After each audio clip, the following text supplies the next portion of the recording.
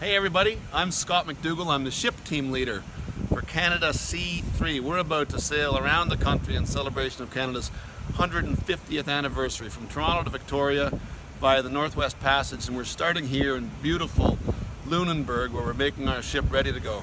This is her and I'm about to give you a tour. Come on aboard.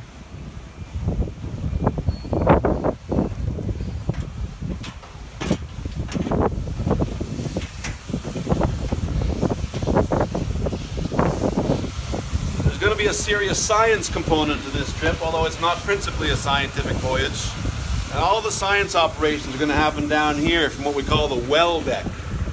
It's going to be a container, like a shipping container that we've converted into a laboratory. There's going to be a, a davit, like a crane up on the foredeck to sample water, sample the ocean's bottom.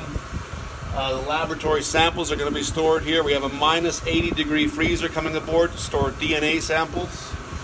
And we're going to have a fleet of Zodiacs here to help our scientists and our participants get ashore to communities along the way, to get out in the water, to be with icebergs, to, say, to, to, to explore the water more intimately. All of that's going to happen here from operations right in the well deck.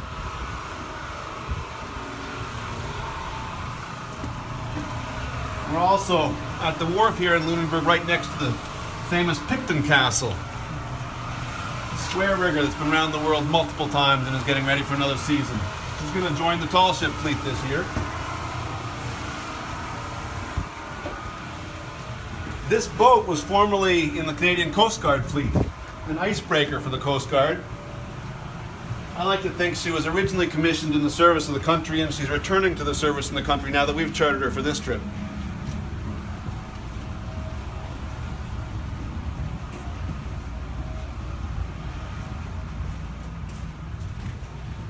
Up here to the companionway, and we're going to get into the wheelhouse, the command center for the ship.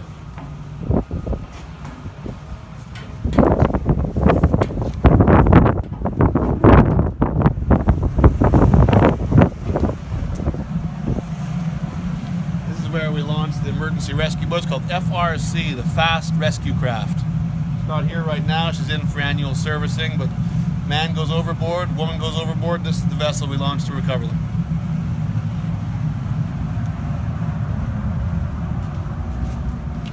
Come on in.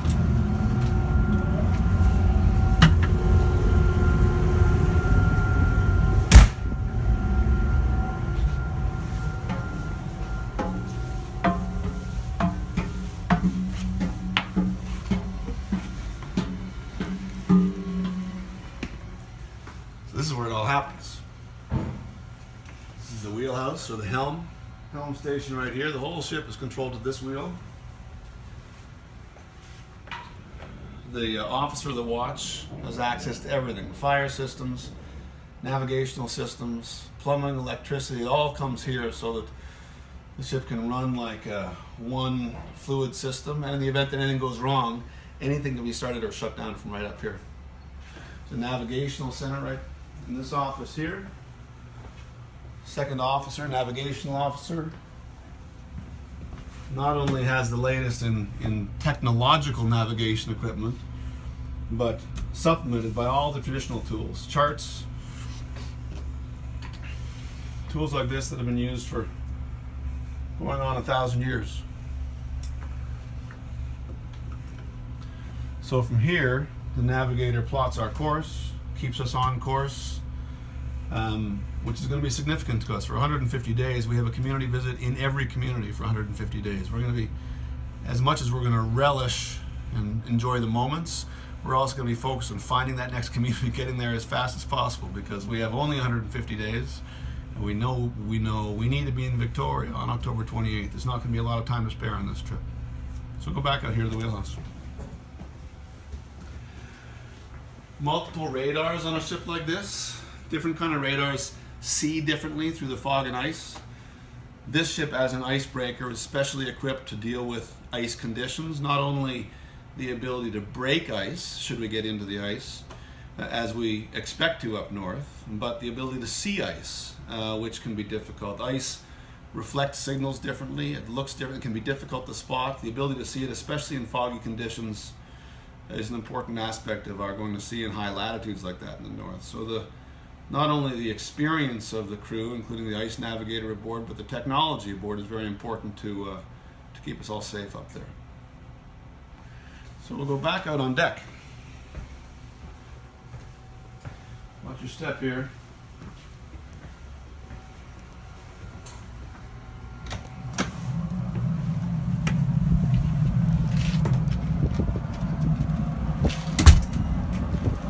Behind me black structure here, soon to be red when we're finished giving this beauty a fresh coat of paint, is the helicopter hangar. We won't be taking a helicopter with us in the voyage. That whole hangar retracts, and we'll be using that for some of the educational space aboard. We'll have lectures in there, both for our participants aboard and for guests from ashore. In sunny conditions like this, we probably would retract that and have an open air session, but if the weather's stinky, close it up and we can get 60 or 100 people in there and have lectures and and uh, share some food. It'll be kind of a celebration space for us. Finally, I'm going to take you up this place upstairs to what we call Monkey Island.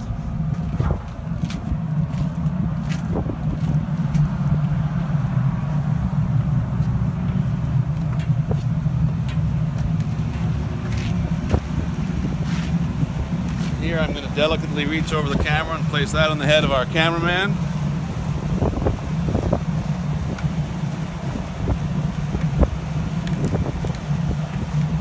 So, Monkey Island offers not only the best vistas on the whole ship, up here in the fresh air, but it's where all the ulti ultimately the radar and navigational equipment is located up here and reports down to the wheelhouse. Um, uh, communication radio antenna, the satellite antenna, the radar dishes, and we're about to mount an enormous satellite dome that we will locate here in the aft port position of the ship. That's the one position we'll be able to see this satellite as we make our way counterclockwise around the continent. This satellite is geostationary, which means it maintains one position over the Earth right in the center of the continent. So by putting this dish here, as we make our way around the continent counterclockwise, we'll always have sight on that communications, on the satellite, excuse me, so it means we'll always be in touch with you. Very fast connection, be able to live stream video. It's going to be like you're a part of the voyage with us.